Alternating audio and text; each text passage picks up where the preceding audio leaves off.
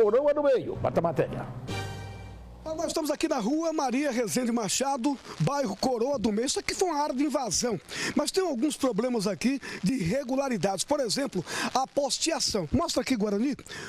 Eu vou aqui mostrar para vocês, por exemplo, aqui. Veja só onde fica esse poste. Praticamente dentro da casa. Né? Dentro da casa, com a fiação elétrica passando de um lado a outro, praticamente na sala da casa.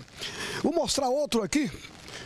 É um problema que precisa ser corrigido porque aqui moram pessoas e essa fiação representa um perigo. Olha aqui, essa área aqui é afastada, mas ali tem um poste. Veja só onde esse poste fica. Né? Agora nós vamos mostrar um problema aqui, que nós fomos chamados pela dona da casa, essa residência aqui, olha só esse poste, onde ele fica. Né? E aqui, ele está, já está pendendo para um lado, vocês podem ver, pendendo para um lado, e olha só o pé desse poste, em que condição ele se encontra. A dona da casa, ela já ligou para a Energisa, já manteve contato com a Energisa, mas até o momento sem solução. Está aqui um papel de 2016 que a dona Fátima recebeu, em que a Energisa diz o seguinte: informamos que foi elaborado o orçamento modular relativo aos projetos em questão. Projetos em questão o quê? Tirar esse poste daí ou mudar o poste. Mas só que a senhora vai ter que pagar 5.250, dona Fátima? Pois é, né? Quer dizer, está incomodando a minha porta, quase me acidentei junto com o vizinho aí, porque faltou um, um nada, né? Eu fiquei paralisada quando o fio de alta tensão caiu, quebrou.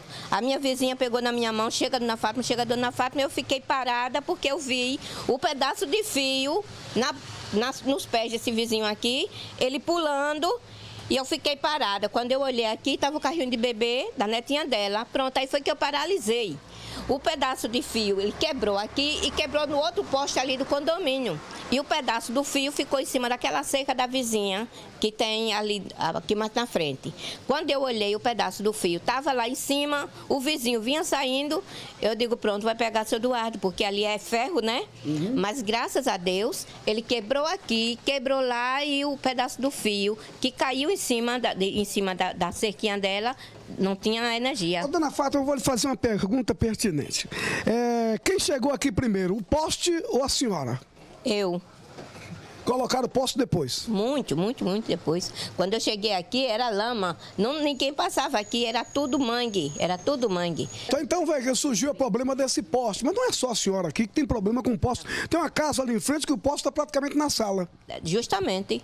É resultado. Eu vou, eu vou, sintetizar aqui que essa rua deveria ser mão em contramão, uma, uma avenida larga. Mas depois é, resolveram não fazer mais essa avenida larga. Ficou essa avenida estreita, uma rua na realidade, e os postes aí praticamente dentro das casas. Permanece. Quer dizer, o pessoal ali já foi a cobertura que fizeram porque queriam chegar as casas para cá e não conseguiu, então fizeram essas coberturas e os postes ficaram dentro. Os postes, né? Tem, aí... tem trazido muitos problemas para os moradores da rua Maria Rezende Machado, aqui na Coroa do Meio. Agora, aqui na casa de Dona Fátima, ele, além de estar tá pendendo, é, ela está com medo que caia, já caiu um fio de alta tensão dia desses e tem um problema também da garagem garagem, então, tá?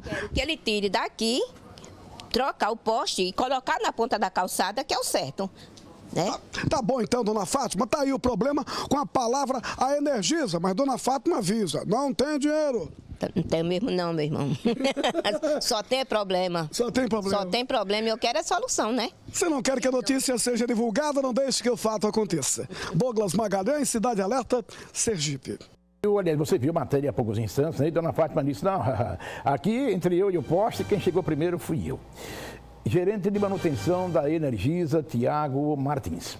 Tiago, como é que a Energisa, então, pode resolver esse problema? Problema de Dona Fátima. Boa noite. Olá, Gilmar. Boa noite. Boa noite a todos os ouvintes.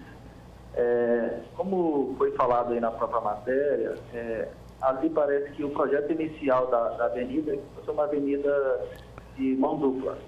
Então, e posteriormente, acho que houve uma alteração no projeto. Então, quando nós instalamos a posteação, ela previa um cenário né, que a rua seria numa faixa mais larga e, lógico, a gente tem que alocar os postes é, conforme o projeto.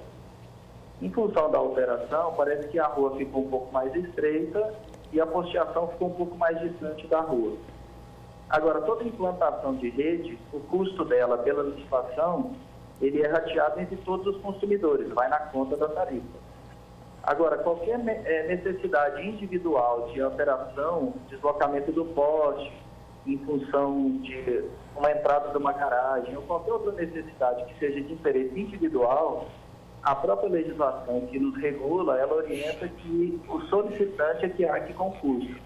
Por isso que a Energisa normalmente vai ao local, faz a análise e se se enquadra nessa situação, a Energisa elabora o orçamento e envia para o solicitante que foi o caso que aconteceu citado pela dona Fátima em 2016. Sim, mas aí é, o, problema, o problema vai ser ou não vai ser resolvido? Então, o que a gente pode fazer é avaliar novamente a situação do poste hoje, é, já que isso já se passaram em três anos, e avaliar diante da situação hoje o que, que a gente pode fazer. Eu posso deslocar um técnico ao local e fazer uma análise de, do que, pode ser feito para essa situação. Eu lhe peço, Tiago, então, que, que encaminhe um técnico, então, por esses dias, para fazer a nova avaliação, mesmo porque, mesmo com o projeto a que você se referiu há poucos instantes, fisicamente quem chegou primeiro foi ela, não foi o poste colocado pela Energisa. É um apelo que eu lhe faço. Uhum. Ok, então, a gente vai avaliar quais são os limites do terreno da Dona Fátima e a gente avalia a melhor alternativa para poder contornar essa situação. Tudo bem, então eu vou fazer o acompanhamento. Muito obrigado, um abraço, disponha, viu?